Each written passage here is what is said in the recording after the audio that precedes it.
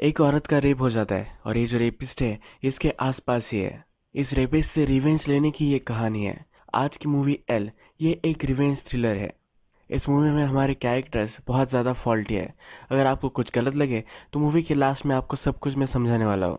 Movie start होती है और हमें दिखता है कि मिशेल का रेप हो चुका है। रेपिस्ट उसके घर से जा रहा होता है। इसके बाद वो उठती है और उसका घर तहस नहस हो चुका होता है तो इसे साफ़ करती है। बात लेती है और उसके डोर चेंज करने के लिए एक आदमी को बुलवाती है। रात में उसका बेटा उसे मिलने के लिए आता है। मिशेल के फेस पर एक चोट होती है तो उसका बेटा उसे पूछता है, ये तुम्हें कैसे लगी? ये बहाना बना देती है। इसका बेटा विंसेंट, अब फादर बनने वाला है। इसकी गर्लफ्रेंड थी जो प्रेग्नेंट हो चुकी थी।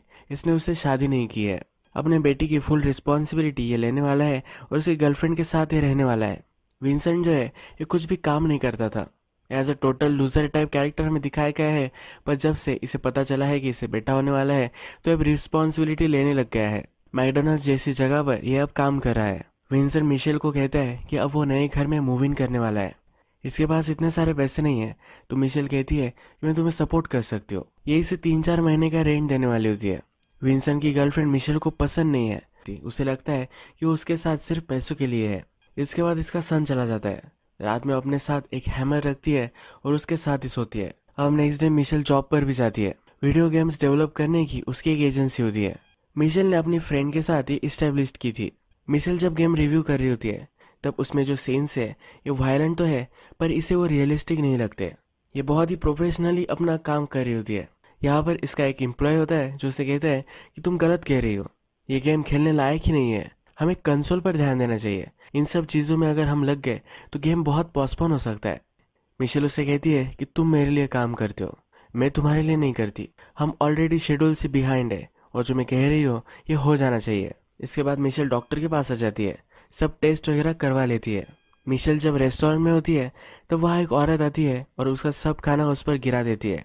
ये वो डिलिबरेटली करती है। ये मिशेल को कहती है कि तुम मॉन्स्टर की डॉटर हो। ये कहकर वो चली जाती है। मिशेल के जो फादर है, ये जेल में है। और ये क्यों जेल में गए थे? ये जैसे मूवी प्रोग्रेस होगी, वैसे हमें पता चलता जाएगा। इसके बाद हमें दिखता है कि मिशेल उसकी मदर से मिलने आती है। इसकी मदर का एक यंग बॉयफ्रेंड होता है। मिशेल को अपनी मदर के बॉयफ्रेंड अच्छे नहीं लगते। मिशेल की मदर को इस सबसे कुछ ज़्यादा फ़र्क नहीं पड़ता। मिशेल अपनी मदर को उसके जो मंथली एक्सपेंसेस वगैरह होते हैं, ये सब देने के लिए वहाँ आई होती है। मिशेल की मदर मिशेल से कहती है कि तुम्हें जाकर तुम्हारे फादर से मिलना चाहिए। फादर जेल में जाने के बाद मिशेल कभी भी उनसे नहीं मिली है और वो मिलना भी नहीं चाहती।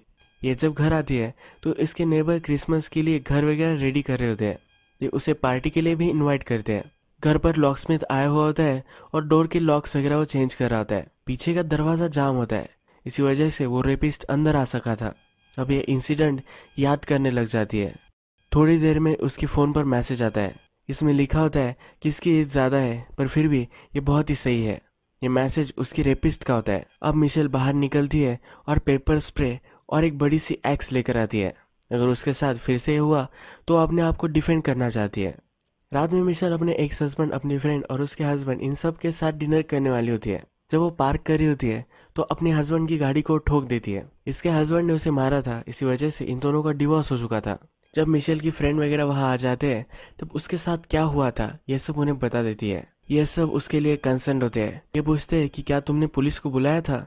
ये कहती है कि नहीं, मुझे इसके बारे में बात नहीं करनी है। ही इस पर ज़्यादा कुछ सोचना नहीं चाहती, ये उसे बता देती है। मिशेल और उसका हस्बैंड जब अकेले होते हैं, तब मिशेल का हस्बैंड पूछता है कि क्या तुम पुलिस को नहीं बुलाना चाहती, क्योंकि तुम उनसे कुछ डील नहीं करना चाहती। मिशेल कहती है कि बचपन से मैं पुलिस और जर्नलिस्ट इनसे ही बात करती आ रही हूँ। अब इनसे, इसे कुछ भी लेना देना नहीं चाहिए होता। इसके फादर का जो केस है बहुत ही हाई प्रोफ़ाइल केस था। अगर इसके साथ जो हुआ है इस जर्नलिस्ट वगैरह सब लोगों को पता चल गया तो फिर से इसकी लाइफ डिस्टर्ब हो सकती है। मिशेल के हस्बैंड को भी एक वीडियो गेम की आइडिया होती है। उस पर वो गेम बनाना चाहता है। मिशेल कहती है कि तुम्हारा जो आइडिया है, ये इन्वेस्टर्स के लिए कुछ आइडियल नहीं है। इस पर वो गेम्स नहीं बना सकते। इसके बाद नेक्स्ट दिन मिशेल अपने सन के साथ अपार्टमेंट देख रही होती है। ये उसे रेंट के लिए सपोर्ट करने वाली होती है तो ये देखने के लिए वो आई हुई होती है। मिशेल के बेटे की, यानी विंसेंट की गर्लफ्रेंड, जो अपार्टमेंट मिशेल उसे लेकर देने वाली होती है, ये वो नहीं देखती है। वो एक एक्सपेंसिव अपार्टमेंट देखती है।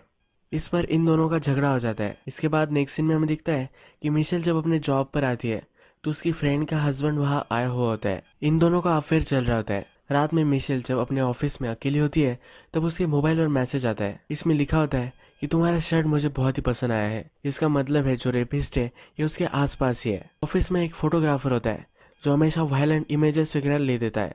ये वही होता है, जिससे मिशेल की नहीं बनती। मिशेल अब इस पर शक करने लग जाती है। नेक्स्ट दिन मिशेल अपनी मदर से मिलती है। उसकी मदर उसे समझा रही होती है कि तुम्हारे फादर कोई मॉन्स्टर नहीं है। वो भी इंसान ही है। तुम एक ही डायरेक्शन से इस सिचुएशन को नहीं देख सकती। वो अब बूढ़े हो चुके हैं। लॉ कभी भी उन्हें जेल से बाहर नहीं आने देगा। तुम्हें उनसे जाकर मिलकर आना चाहिए। मिशेल इस चीज़ पर बात नहीं करना चाहती। मिशेल जब घर पर होती है तो इंसिडेंट फिर से इमेजिन कर रही होती है। इमेजिन कर रही होती है कि उसके हाथ में कुछ था और उसने रेपिस्ट को मार दिया था। ये सिर्फ़ इमेजिन करना भी उसे बहुत अच्छा लगता है। मिशेल जब टीवी लगाती है तो उसके फादर ने जो किया था, इसकी ही न्यूज़ चल रही होती है। हमें पूरे नेबरहुड में वायलेंस हुआ था ये टीवी पर दिखाई जाता है। वहाँ पर मिशेल भी थी। मिशेल को नीचे गाड़ी की आवाज़ सुनाई देती है। मिशेल जब देखने के लिए जाती है तो ये व्हीकल उसे सस्पिशियस लगता है। ये उसे रेपिस्ट का ही लगता है। वो अपनी एक्स लेती है और इस गाड़ी के पास जाकर उसका शीशा फोड़ देती है। अंदर जो आदमी होता है, इसकी आग पर वो प्रिपर्स पे लगा देती है। इसके बाद इसे पता चलता है कि इसका ये एक हस्बैंड था। इसका एक हस्बैंड उसे कहता है कि, तुम बोल रही थी कि वो तुम्हारा पीछा कर रहा है। तुम पुलिस प्रोटेक्शन में नहीं चाहती। तो मैं तुम्हें हेल्प करने के लिए आया था। वो अलग गाड़ी में आया था, इसलिए मिशेल उसे पहचान नहीं पाई। इसका एक हस्बैंड उसे कहता है कि उसकी गर्लफ्रेंड की एक कार है। मिशेल उसकी गर्लफ्रेंड में अब इंटरेस्टेड हो जाती है। उससे वो मिलना चाहती है, पर उसका एक हस्बैंड इसे एक करने नहीं देगा। नेक्स्ट दिन मिशेल अपने काम पर जब होती है तो उसकी गेम की एक क्लिप उसे आती है। इस क्लिप में उसका फेस लगाया हुआ होता है और उसका मॉन्स्टर उसे रेप कर रहा है। इसमें दिखाया जाता है। ये क्लिप उसके पूरे ऑफ़िस में चली जाती है। मिशेल की फ्रेंड उसका हाल पूछने के लिए आती है। मिशेल कहती है कि पहली बार नहीं हुआ है। ये रेपिस्ट मुझे बहुत सारी चीज़ें भेज रहा है। इसकी फ्रेंड उसे कहती है, तुम्हें पुलिस के पास जाना चाहिए। मिशेल कहती है कि पुलिस ने जर्नलिस्ट ने मेरी पूरी लाइफ बर्बाद कर दी थी। उसके बाद मैंने अपनी लाइफ फिर से बनाई है। जो सब मैंने अब खड़ा किया है, मैं इसे लूज कर सकती हूँ। मैं सब होने नहीं दे सकती। ये कहती है कि ये इनसाइड जॉब है। इसी ऑफ़िस में कोई है जो ये सब कर रहा है। मिशेल का एक जो एम्प्लॉय होता है, जो उसे बहुत पसंद करता है, ये उसके पास जाती है। ये टेक्नोलॉजी वगैरह ही संभालता है। तो मिशेल उससे कहती है कि इसे बनाया कैसे गया है? ये कहता है कि हमारे ऑफ़िस में किसी का काम हो सकता है, पर ऐसा कंपलसरी नहीं है। हमारे सर्वर्स भी हैक हुए थे, ये बाहर के भी किसी का काम हो सकता है। इसके बाद नेक्स्ट डे मिशेल अपने एक्स हस्बैंड की गर्लफ्रेंड से मिलने के लिए जाती है। उसे उसके कार के लिए सॉरी कहती है। इसके बाद मिशेल के घर पर एक क्रिसमस पार्टी वो रखने वाली है, इसीलिए अपने हस्बैंड के एक्स गर्लफ्रेंड को भी बुला लेती है। इसे यहाँ कॉल आ जाता है। और उसके सन को अब बेटा होने वाला है। डिलीवरी हो जाने के बाद अपने सन के बेटे को देखती है तो ब्लैक होता है। उसके सन का फ्रेंड भी यहाँ आया हुआ होता है, जो भी ब्लैक ही होता है।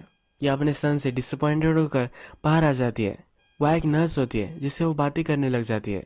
ये कहती है कि मैं और मेरी फ्रेंड एक साथ ही प्रेग्नेंट थे। मेरी फ्रेंड का मिसकैरेज हो गया था और मुझे बेटा हो गया। मेरी फ्रेंड बहुत ही गम में थी। उसे मेरे बेटे को दूध पिलाना था तो मैंने उसे करने दिया। इसके बाद मुझे लगता है कि मेरा बेटा मेरी फ्रेंड के साथ ही क्लोज है। क्या बेटा है, पर फिर भी ये ऐसा कैसा है, ये उसे समझ में नहीं आता। वो कभी भी अपने बेटे से सही से रिलेशनशिप नहीं बना पाई मिशेल रात में जब घर पर आती है तो वहाँ बहुत सारे पुलिस वगैरह आए हुए होते हैं। इसके नेबर ने ही इन पुलिस को बुलवाया होता है। इसका नेबर जब बाहर घूम रहा था तो मिशेल के घर में कोई घुस रहा है, ये उसने देखा था कि पीछे भागा, पर इसे वो पकड़ नहीं पाया। इस वजह से अब यहाँ पुलिस आई हुई है। इसका नेबर मिशेल को घर तक छोड़ने के लिए आता है। मिशेल को उसका नेबर अच्छा लगता है। उससे ज़रा फ्लर्ट करने लग जाती है। नेक्स्ट दिन मिशेल जब अपने ऑफ़िस में आती है, उसका शक इसके ऑफ़िस में फोटोग्राफर जो है, इस पर ही है। ये अपने फ्रेंड से पूछती है क्या ये स्कीइंग करता है? क्योंकि जिस टाइम रेपिस्ट उसके घर पर आया था तो उसने स्की मास्क ही पहना था। ये फोटोग्राफर स्कीइंग करता है। मिशेल फिर अपने दूसरे कोवर्कर के पास जाती है। उसे कहती है कि क्या तुम्हें शूटिंग करना आता है? इसे पता होता है इसे शूटिंग रेंज पर लेकर जाता है। वहाँ जाकर मिशेल उसे कहती है कि मेरे पास तुम्हारे लिए एक जॉब है। जो क्लिप आई थी हमारे सर्वर से कहाँ से आई थी, ये तुम्हें ढूंढना है। इसके लिए बहुत सारे पैसे भी उसे देने वाली होती है। मिशेल अपने नेबर से अट्रैक्टेड है। उसे वाइफ भी है। वो रात में जाती है और वह क्रिसमस पार्टी अरेंज करने वाली है तो इसके लिए उन दोनों को इनवाइट कर कर आती है। जब इसकी पार्टी चलती है तो इसका हस्बैंड नेबर उसकी मदर और उसका बेटा, ये सब वहाँ आए हुए होते हैं। जब ये डिनर टेबल पर होते हैं तो मिशेल अपना पैर अपने नेबर को लगा रही होती है, उसे वो फ्लर्ट कर रही होती है। अब हमें दिखता है कि मिशेल की मदर अनाउंसमेंट करने लग जाती है। वह कह रही होती है कि अब वो शादी करने वाली है। मिशेल इस पर बहुत ही चिढ़ जाती है। यहाँ वो ज़रा तमाशा खड़ा कर देती है। डिनर खत्म हो जाने के बाद अपने नेबर के साथ ये बैठी हुई होती है। इसके फादर ने क्या इंसिडेंट किया था, इसके बारे में उसे स्टोरी सुनाती है। ये कहती है कि उसके फादर एक रिलीजियस आदमी थे। सब बच्चे जब स्कूल में जाते थे उससे पहले उनके माथे पर एक क्रॉस बनाते थे। नेबर्स को बात पसंद नहीं आई। उनका दिमाग खराब हो गया। इन्होंने एक मिशेडी ली और सब नेबर्स को मार दिया। जब वो घर आए तो मिशेल के साथ वो घर जनाने लग गए। मिशेल भी छोटी थी तो उसने भी उन्हें हेल्प किया था। इसके बाद मिशेल की पूरी लाइफ चेंज हो गई थी। मिशेल भी एक साइकोपैथ है, ऐसा सबको लगने लग गया था। जर्नलिस्ट हमेशा उसकी लाइफ पर ध्यान रखते थे। बचपन से लेकर आज तक, वो इस बात से पूरी तरह से उभर ही नहीं पाई है। ये बात ही कर रहे होते हैं। तभी इसकी मदर कोलैप्स हो जाती है। मिशेल की मदर को स्ट्रोक आया हुआ होता है और एक कोमा में चली गई होती है। मिशेल को सपोर्ट करने के लिए उसकी फ्रेंड उसके पास ही सोती है। नेक्स्ट सुबह जब मिशेल उठती है, तब उसकी फ्रेंड का हस्बैंड वहाँ होता है। मिशेल उसे कहती है कि हम जो सब कर रहे हैं, ये हमें अब स्टॉप कर देना चाहिए। हॉस्पिटल में अपनी मदर से वो मिलने के लिए आती है। इसकी मदर उस पर नाराज़ थी, तभी उसे स्ट्रोक आ गया और वो कोमा में चली गई है। ये अपनी मदर से कह रही होती है कि कैसा भी तुम एक्ट करो, कुछ भी करो, मैं तुम्हें कोई भी बोलने वाली नहीं। बस सिर्फ़ मुझ पर नाराज़ मत हो। ये जब मिशेल उसकी मदर से बात कर रही होती है, तभी उसकी मदर अनस्टेबल होकर वही उसकी डेथ हो जाती है। मिशेल की मदर उसकी अस्थियाँ एक पार्क में डालना चाहती थी। मिशेल इस पार्क में अपने सन अपने एक्स हस्बैंड उसके फ्रेंड्स के साथ आ जाती है। यहाँ पर विंसेंट और उसकी गर्लफ्रेंड का अब झगड़ा हो जाता है। मिशेल विंसेंट पर चिढ़ जाती है। वो कहती है कि हमेशा तुम्हें वो ऐसे ही करती रहेगी। ये बेटा भी तुम्हारा नहीं है, फिर भी तुम उसके साथ रह रहे हो। इसके बेटे को ये सब बातें नहीं सुननी होती। उसका बेटा यहाँ से अब चला जाता है। रात में मिशेल का नेबर उसके पास आ जाता है। वो कहता है कि स्टॉम आने वाला है तो सब खिड़कियाँ हमें बंद कर लेनी चाहिए। जब वो उसे हेल्प कर रहा होता है तो दोनों एक दूसरे के पास आ जाते हैं। उसके नेबर को रियलाइज़ होता है ये गलत है और वहाँ से चला जाता है। मिशेल भी कुछ सोचते हुए हमें दिखती है। इसके बाद मिशेल जब अपने ऑफ़िस में होती है तो अपने कोवर्कर का एक पीसी देखती है, जिसको उसने कहा था कि ये वीडियो कहाँ से आई है, इसका पता करने के लिए ये वही है। ये उसे सफ़ाई पूछती है। ये कहता है कि इंटेंशनल नहीं था। मेरे एक फ्रेंड ने ये देख लिया और उसने सेंड कर दिया था। मिशेल पूछती है, तुमने बनाया ही क्यों था? ये कहता है कि रियल लाइफ क्राइम के फ़ोटोज़ से ये गेम बनाने की आइडिया पहले थी। मिशेल के फादर के केस की वजह से इसने वीडियो बनाया था। मिशेल फिर उसे उसकी पैंट उतारने के लिए कहती है, ये यहाँ पहचान जाती है कि जिसे ढूंढ रही है, ये वो नहीं है। रात में मिशेल जब घर पर आती है तो उसके घर में कोई छुपा हुआ होता है। उस पर फिर से हमला कर देता है। इस बार उसका मास्क निकाल लेती है। ये देखती है तो इसका नेबर ही है। घर से निकल जाने के लिए उसे कहती है। नेक्स्ट दिन इसका नेबर जब काम पर जा रहा होता है, तभी इसे वो देखती है और कुछ भी बोलती नहीं। मिशेल अपने फादर से नहीं मिलना चाहती थी। अब उसने अपना माइंड चेंज कर लिया है।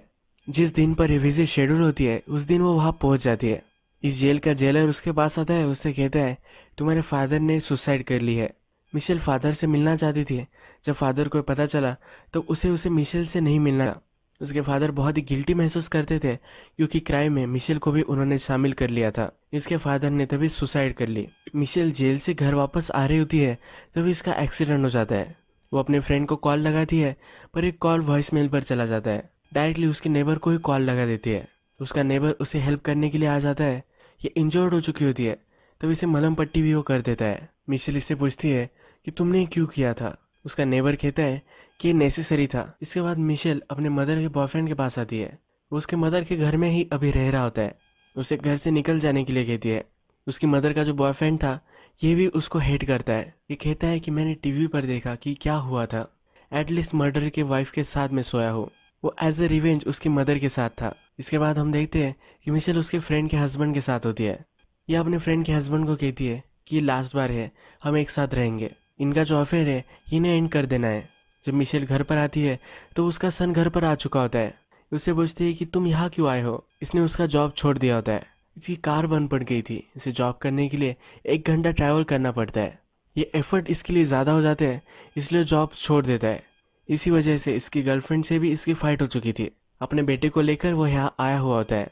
विंसन की गर्लफ्रेंड भी यहाँ पहुँच जाती है। ये दोनों फाइट करते हैं। पर मिशेल उसे कहती है कि उसे अपने बच्चे को लेकर जाने दो। इसके बाद विंसन और मिशेल दोनों सुपरमार्केट में कुछ शॉपिंग कर रहे होते हैं, तभी वहाँ नेबर भी उसे दिखता है। नेबर इनसे कहता है कि मेरी वाइफ बाहर गई है। तुम अगर चाहो तो मुझे डिनर के लिए ज्वाइन कर सकते हो। विंसन डिनर करने के बाद वही सो जाता है। मिशेल अपने नेबर से बात करने लग जाती है। मिशेल कहती है कि तुम्हारे फ्लोर्स बहुत ही वार्म है। नेबर कहता है कि बेसमेंट में मैंने हीटिंग सिस्टम लगाया है। दोनों जब नीचे आ जाते हैं तो मिशेल अपने आप को अपने नेबर को सौंप देती है। नेबर कहता है कि ऐसे में तुमसे इंटीमेट नहीं हो पाऊँगा। ये फिर उसे मारने लग जाती है और इसके बाद ये दोनों इंटीमेट हो जाते हैं। इसका नेबर एक साइकोपैथ है और इसकी अजीब सी फैंटसीज है। नेक्स्ट दिन मिशेल जॉब पर होती है तो उसकी फ्रेंड उसे कहती है कि मेरे हस्बैंड का कहीं चक्कर चल रहा है। मिशेल की फ्रेंड को पता नहीं होता कि मिशेल के साथ उसका हस्बैंड सो रहा है। अब हमें दिखता है कि मिशेल का गेम कंप्लीट हो चुका है। इसके लिए वो पार्टी कर रहे होते हैं। इस पार्टी में अपने फ्रेंड को कह देती है कि वो मैं ही थी, जिसके साथ तुम्हारे हस्बैंड का अफेयर चल रहा था। मिशेल का हस्बैंड भी इस पार्टी में आया हुआ होता है। मिशेल के हस्बैंड को भी गेम इंडस्ट्री में घुसना होता है तो अपने कोवर्कर के साथ मिशेल उसे इंट्रोड्यूस करा देती है।